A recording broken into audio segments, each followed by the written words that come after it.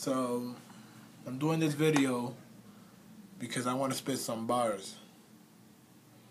And I don't really give a fuck who hates, who don't like it. It doesn't matter. I'm doing it for me. I'm not doing it for y'all. Alright? This is one of my verses.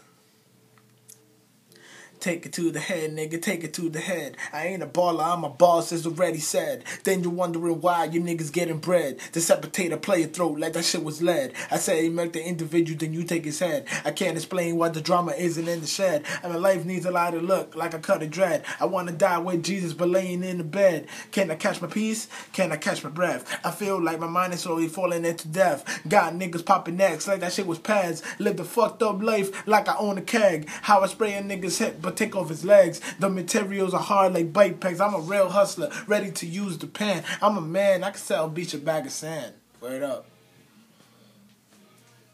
Yo, tell me what you guys think. Yo, that's some real ass shit. Um,